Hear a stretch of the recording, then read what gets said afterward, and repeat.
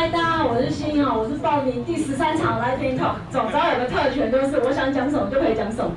那我们就来跟你们介绍一下，在哪里？最下面换灯配秀。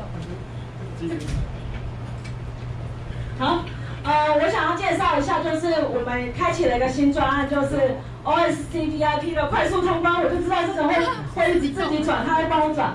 呃，我想问一下，在场有申请那个 OSC VIP 的票的人，请举手。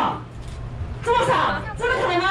这里？哦，那我一定要跟大家介绍，就是其实各个抗服啊，就是 C 抗 Costcard 都有一个开源贡献者票，只要你有在做 Open Source 专案的，你提交你的。呃，report 或者是你在做什么贡献，或者是你是活动上面的参与，然后你是 community 的呃 organizer 之类的，你都会可以把你做这些一倍的贡献都写上来，那你就可以不用在那边等到八点的时候，那边按一个按钮，然后一直想说，哎，怎么都没有 Costco 的门票？那到底要怎么样拿到呢？因为以前呢，就我们。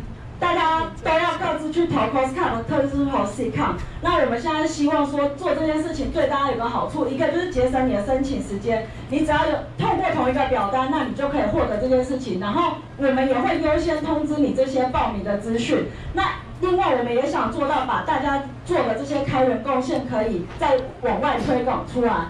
那怎么做这个快速通关呢？主要就是以前。现在你只要透过 OCF 开放文化基金会，他之后会再把这个讯息贴出来。透过开放文化基金会，那你把跟你以前一样，就是把那些资讯交上来，然后也会有志工来帮忙审核。那过了之后，你只要将你的个人代码交上去给社群，那他们就会直接回来说，哦，确定有这个人，那他你就可以获得开源贡献者票，你就不要每一次还要写很多自己的履历这样。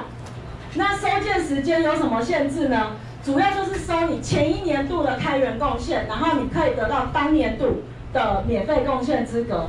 那我们就来举个例吧。如果小强二零二零想申请，他要拿哪一年的贡献来填表呢？前一年嘛，那就是二零一九年。你二零一九年的贡献都可以来。那来个 Part Two，如果老赵以用 A 贡献跟 Costco 申请二零一九贡献票，他二零二零年还能贡献以 A 贡献。以 A 专案贡献吗？没有问题，就是这个规则，就是你只要拿前一年的就没有问题。那得到了资格会过期吗？呃，他的资格就是到当年为止，就是我二零呃二零二零一九到二零二零这样。他的交件时间，好，那另外一个就是，当然我现在时间不够，就是呃开放化基金会，它就是在协助台湾开源社群，如果你有。啊，你如果可以愿意多多了解这个 O O C F 这个 Foundation 的话，那就请再搜取一下 O C F 点 T W。那我们非常需要大家的个人小额的捐款，那就麻烦大家就在看上网再看一下资讯，这样谢谢。